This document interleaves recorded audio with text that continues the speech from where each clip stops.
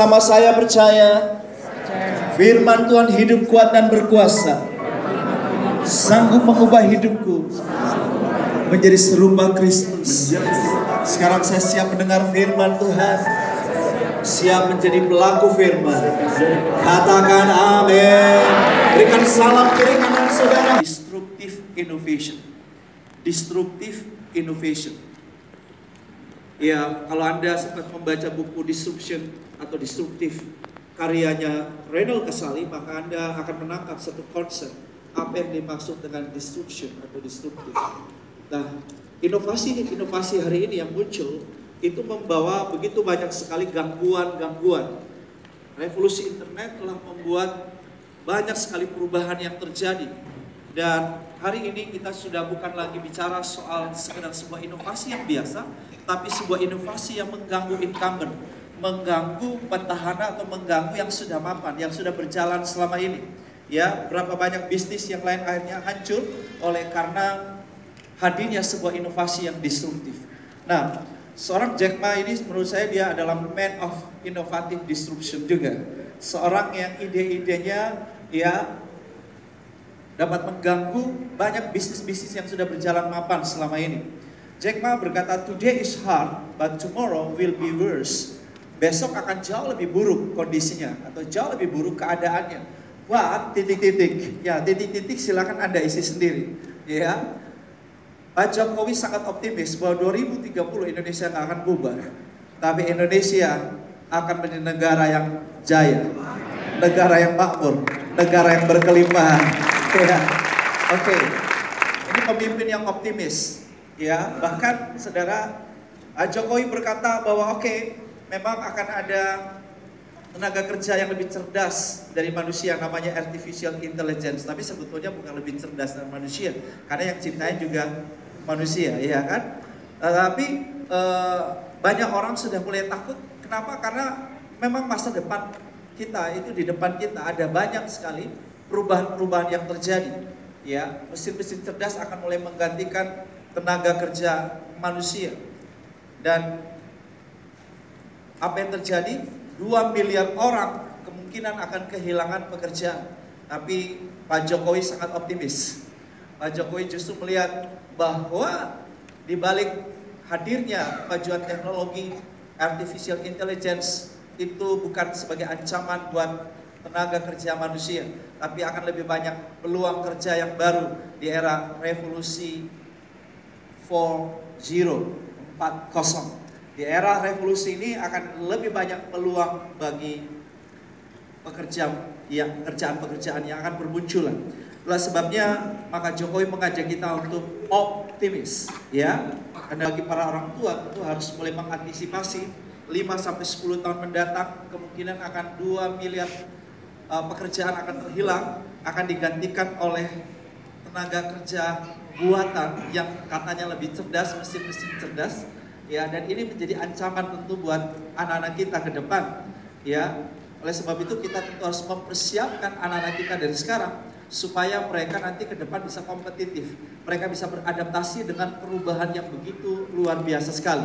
Sebab tanpa kita mempersiapkan kompetensi untuk anak-anak kita saat ini, maka kemungkinan besar mereka akan tergusur dan mereka akan tergilas atau mereka akan punah. Kenapa? Karena perubahan perubahan peradaban yang begitu luar biasa sekali. Oke? Okay? Nah, ini membuat semakin banyak orang tuh stres. Saya harap tidak ada jemaat yang wajahnya mirip ya dengan yang ada di gambar ini. Tapi mungkin ada yang bilang, tapi Pak Pendeta mirip-mirip, stresnya mirip. Wajahnya nggak mirip. Ya, oke. Okay. Ini yang terjadi Nah, itulah sebabnya maka saudara kita perlu saudara hidup dengan sebuah kehidupan yang super natural. Kita tidak bisa saudara hari ini hanya akan menjalani cara hidup yang natural. Kita harus menjalani cara hidup yang super natural. Dan kabar gembiranya saudara kita bukan sekedar manusia natural, manusia biasa. Tapi sebetulnya kita juga manusia super natural. Ya, semua yang ada di dalam Kristus adalah ciptaan yang baru, yang lama sudah berlalu. Sesungguhnya yang baru telah dan Ya, kita adalah manusia supernatural. Eh, Yohanes pasal 10 ayat 10b berkata, Yesus datang supaya kita beroleh hidup dan hidup dalam segala kelimpahan. Kata hidup dari bahasa Yunani yang digunakan adalah zoe atau hidup rohani, hidup yang spiritual, hidup yang ilahi, hidup yang sesungguhnya, hidup kekal dalam kerajaannya. Ini supernatural. Ya. Berarti kita ini manusia supernatural. Hidup dalam bahasa Yunani juga ada kata bios. Bios ini bukan hidup rohani, tapi hidup secara jasmani, hidup biologis kita disebut bios. Nah di dalam bios ini kita punya zoe, hidup ilahi, hidup yang rohani, hidup yang supernatural. Tapi sering kali kita lupa bahwa kita ini manusia juga supernatural. Kita hanya saudara sadar bahwa diri kita manusia natural, darah dan daging. Kita lupa bahwa kita ini manusia rohani. Alkitab menyebut kita manusia rohani. Bahkan saudara dalam sapaan Paulus kepada jemaat-jemaat dia sering menyebut orang-orang kudus. Ya, ini adalah saudara identitas supernatural kita. Kita adalah manusia rohani. Juga ada ayat yang berkata kita adalah warga kerajaan surga. Berarti saudara kita bukan sekedar manusia natural, tetapi supernatural. Nah, itulah sebabnya maka kita perlu menjalani hidup secara supernatural.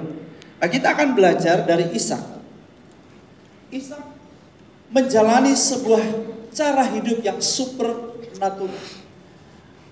Di dalam kejadian pasal 26 ayatnya yang ke-12, kejadian 26 ayat 12, kita baca bersama dikatakan di sini, maka menaburlah Isa di tanah itu dan dalam tahun itu juga ia mendapat hasil berapa kali lipat? Sebab ia diberkati Tuhan. Ya. Sebab ia diberkati Tuhan. Oke. Apakah berhenti di situ? Ini udah luar biasa. Ini menurut saya berkat super, saudara. Luar biasa sekali. Bayangkan, saudara, dia bisa menuai 100 kali lipat di tahun itu, ya, di saat kondisi paceklik, kelaparan. Ya, ini sesuatu yang tidak mungkin, impossible. Tetapi kalau kita, saudaraku, menjalani cara hidup yang supernatural, maka yang impossible menjadi possible. Ya, yang impossible dapat menjadi yang possible. Kita lihat, Ishak mengalami hal ini. Saudara. Dia mengalami pemeliharaan, penyediaan, dan pelipat gandaan secara supernatural. Ayat 13. Kita baca bersama, dua tiga. Dan orang itu menjadi kaya, bahkan kian lama kian kaya. Sehingga ia menjadi sangat kaya. Jemaat Tuhan, Berapa banyak Anda yang ingin kaya? Katakan saya. Oke, okay, yang yang ingin lebih kaya lagi. Saya menjadi sangat kaya. Wah, sini lebih ribut saudaraku ya. ya. Lebih sangat kaya. Oke, okay. saudara yang dikasih oleh Tuhan, ketika kita saudara uh, pingin kaya, ya sesuai dengan ayat ini seperti Ishak kaya, ya bisa terjadi misperception. Ya. Ada persepsi yang keliru di situ. Karena rasanya kok jadi duniawi atau serakah begitu ya. Karena ada ayat yang berkata, jangan pingin kaya sebab ketika Anda pingin kaya, Anda akan jatuh ke dalam berbagai pencobaan. Nah, kalau kita hanya membaca ayat ini, ya kita bisa keliru menafsirkan apa maksud daripada ayat ini. Saya jumpai di dalam Amplified Bible, versi bahasa Inggris Amplified Bible bunyinya demikian. Jadi tampilkan lagi. Iya. Dikatakan and the man become great gain more and more until he became very wealthy and distinguished. Ya. Oke. Okay. Jadi saudara ternyata dia bukan sekedar kaya dalam arti punya kekayaan seperti uang, ya lembu, kambing sudah uh, disebut di ayat 14. Tetapi saudara yang dikasih oleh Tuhan, kekayaan yang dimiliki oleh Isa itu kekayaan yang lebih dari sekedar material. Ya. Tapi supernatural. Nah, dikatakan begini, Ishak menjadi great. Great bukan besar tubuhnya, tetapi great bicara tentang keunggulan, kualitas, above, yang melampaui, yang beyond, yang di atas dan yang beyond yang melampaui. Jadi suatu keunggulan atau kualitas di atas rata-rata yang dimiliki oleh Ishak. Berapa banyak Anda yang pernah baca buku From Good to Great, karangan Jim Collins? Bisa saya lihat ada yang mengangkat tangannya? Satu? Oke. Okay. Tadi juga di dan Mogot satu orang juga ya. Di sini satu orang juga yang baca ya. Orang Indonesia lebih suka membaca atau suka nonton ya? gitu ya. Ini yang maaf ya, ini yang membuat Indonesia belum terlalu hebat-hebat banget gitu kan. Karena malas membaca sebetulnya. Ya ini yang ngomong soalnya penulis buku. Loh ya ada surveinya. Ya eh, pembaca buku, pembaca dan pembeli buku nomor satu di dunia orang Yahudi. Yang kedua Jepang, yang ketiga baru Amerika Serikat. Anda udah ngerti maksud saya? Oke. Okay. Kalau Indonesia mau maju, jadilah pembaca yang baik. Nah, tapi jangan melulu baca novel, saudara. Nanti kalau baca novel 2030 bubar kan? Ya, oke. Okay. Jadi saudara yang dikasih oleh Tuhan, perhatikan. Uh, yang saya mau bagikan di sini, Jim Collins, dia menulis bukunya dari hasil riset dia kepada lebih dari 1.300 perusahaan yang masuk dalam Fortune 500, 500.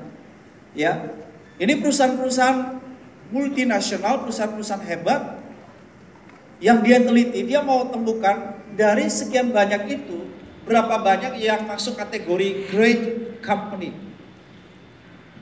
Dan hasil penelitian mereka sangat mengejutkan karena dari 1300 sekian perusahaan yang mereka teliti yang masuk dalam daftar Fortune 500, mereka hanya dapatkan 5 company yang masuk kategori great company. Berarti to be great itu langka banget, betul kan?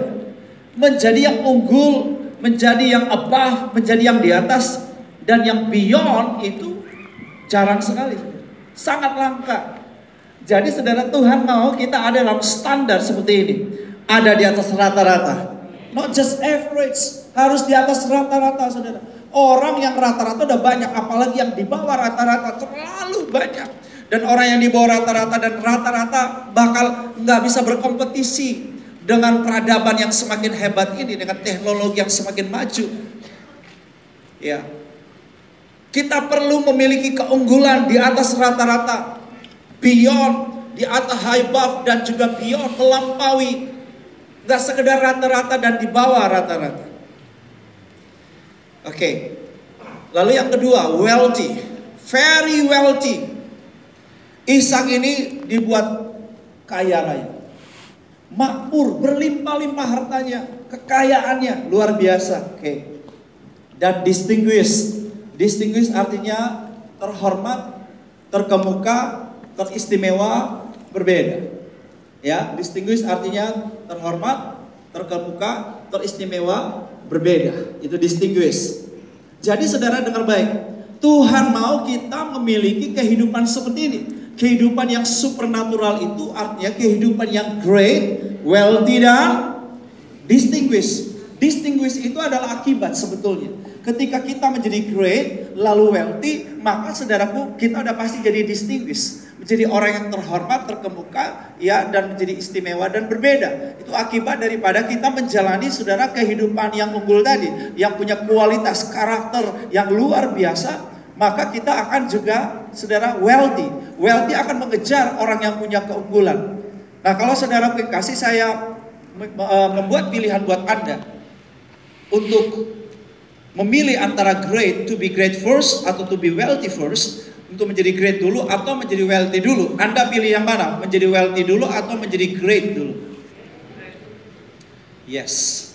So kalau Anda mau jadi wealthy dulu, maka bisa terjadi orang itu akan menghalalkan segala cara, betul? Bisa terjadi, ya kan? Apa pun caranya, yang penting dia kaya. Dia nggak peduli dengan kualitas, dia nggak peduli dengan pelayanan yang memuaskan pelanggan, dia nggak peduli. Ya, Pokoknya dia lakukan apa saja untuk dapat untung. Walaupun ada orang lain dikorbankan, orang lain dirugikan, dia sikut kiri, sikut kanan, tendang depan, tendang belakang, no problem. Emangnya gue pikirin katanya. Yang penting aku aman, yang penting aku selamat. Ya. Nah ini kalau orang mau wealthy dulu. Tapi orang yang begini, ya nggak bakalan awet kekayaannya. Kenapa? Karena hari ini untuk mendapatkan pelanggan yang setia sangat sulit. Terlalu banyak pilihan buat customer, buat konsumen hari ini dan sulit untuk mempertahankan pelanggan setia. Betul? Ya, jadi kalau kita tidak memberikan satu layanan yang terbaik, misalnya kita bicara konteks bisnis, Anda tidak memberikan satu layanan yang berkualitas, maka sudah pasti Anda akan ditinggalkan oleh pelanggan Anda. Tapi ketika Anda fokus pada to be great first, memberikan layanan yang hebat, layanan yang unggul, layanan yang terbaik, maka sudah pasti pelanggan akan setia dengan Anda. Dan itu berarti wealthy akan mengalir berlimpah-limpah dalam hidup Anda. Tapi sekali Anda untung dengan cara yang tidak benar, curang, cheating, maka kemudian Anda akan mengalami kerugian yang luar biasa sekali. Anda boleh ngerti perbedaannya di sini? Jadi mari kita bangun keunggulan terus-terus dalam hidup kita. Itu menjadi prioritas, menjadi fokus dalam hidup kita. To be great first. Katakan to be great first. Jadi doa saya setiap suami di sini adalah suami yang great supaya istrimu setia dengan Anda.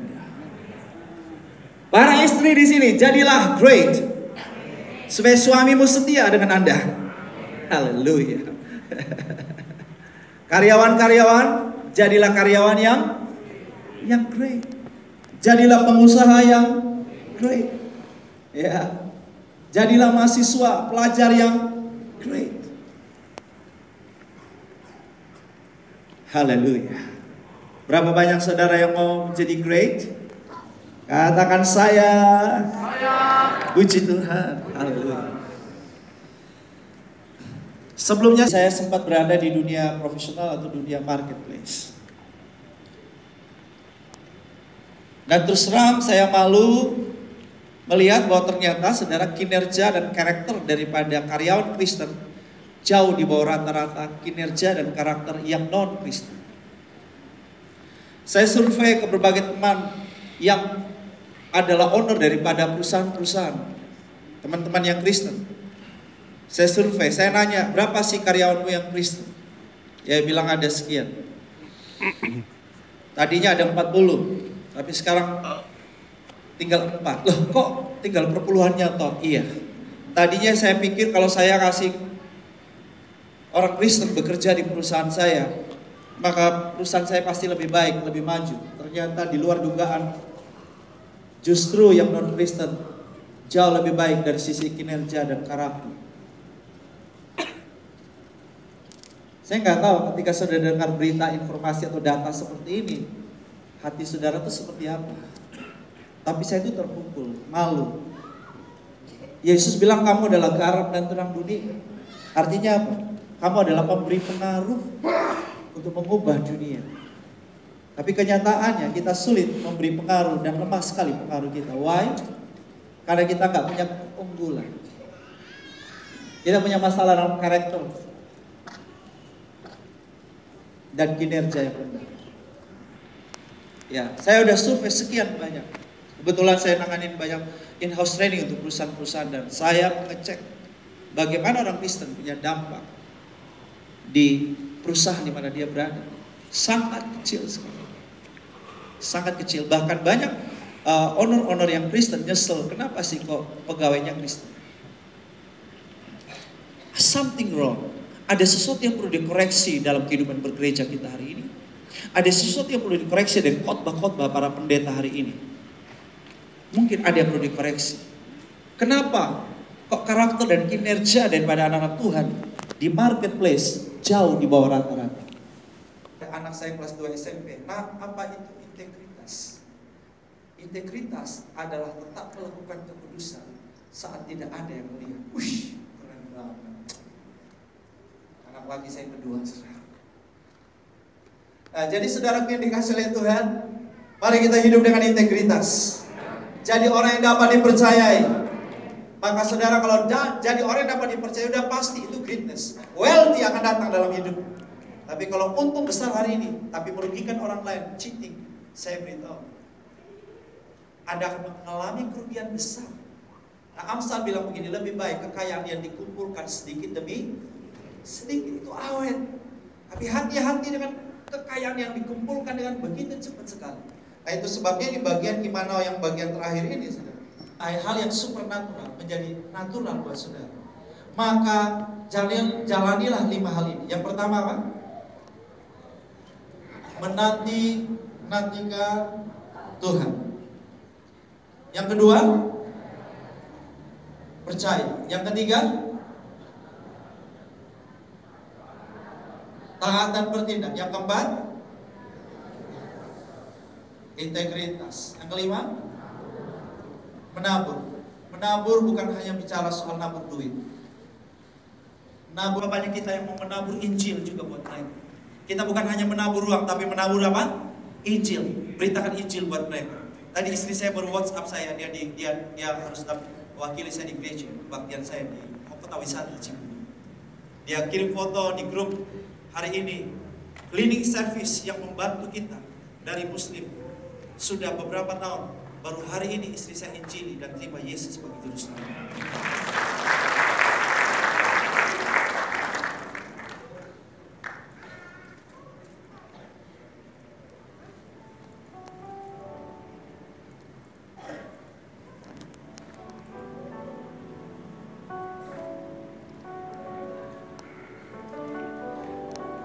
Tiap hari ku temu mereka yang terhilang.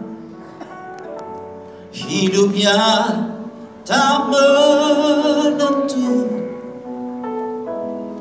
Arah tujuan. Dalam tawa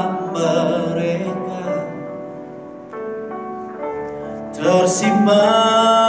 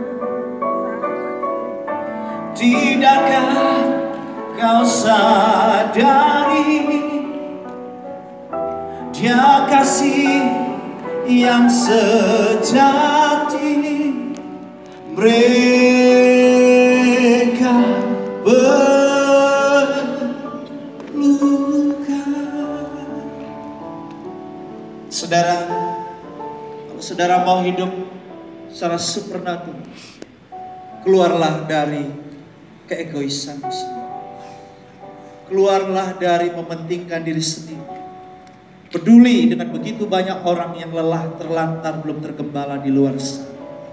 Peduli dengan mereka yang ada di penjara. Peduli dengan mereka yang terbelenggu oleh dosa. Mereka sedang menantikan Anda untuk pergi menabur kasih, menabur Injil dalam hidup mereka. Berapa banyak saudara yang hari ini mau pergi menabur itu buat mereka. Mereka sedang menantikan Anda dan saya. Terlalu banyak mereka sedang menuju kebinasaan. Siapakah yang harus menyelamatkan mereka? Kita sudah diselamatkan bukan? Maukah kita juga mengajak mereka? Yuk sama-sama masuk surga. Karena kita sudah punya jaminan keselamatan, saudara. Surga buat kita bukan sesuatu yang semoga. Tetapi surga buat kita sesuatu yang pasti. Surga buat kita bukan sesuatu yang nanti. Surga buat kita adalah sesuatu yang hari ini, saat ini, sekarang. Haleluya. Mari kita bangkit berdiri. Kristus. Dan sebagai keturunan Abraham, engkau adalah keturunan yang diberkati. Amin. Bukan hanya Ishak yang diberkati, tetapi setiap Anda di tempat ini juga diberkati.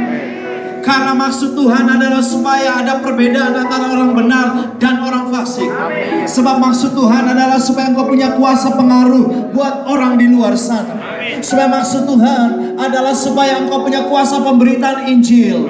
Orang dapat melihat Tuhan menyertai hidupmu. Tuhan nyata atas hidupmu. Tuhan bukan sekedar agama dan teori. Tuhan adalah realitas yang kau tunjukkan melalui hidupmu yang berhasil. Itulah sebabnya hari ini kau katakan Tuhan, I want to be great. Saya mau jadi great Tuhan. Saya mau memiliki keunggulan, karakter, kualitas hidup di atas rata-rata. And then kemudian saya wealthy. Saya mengalami kelimpahan, kemakmuran dari Tuhan. Supaya saya menjadi pribadi yang berbeda, pribadi yang terhormat, pribadi yang teristimewa, pribadi yang termuka. Supaya nama Yesus Kristus ditinggikan, nama Yesus Kristus dipermuliakan. Orang dapat melihat Tuhan nyata dalam hidupku. Tuhan bukan agama dan Tuhan bukan sekali teori, tapi Tuhan adalah realitas kehidupan. Terima kasih Tuhan Yesus.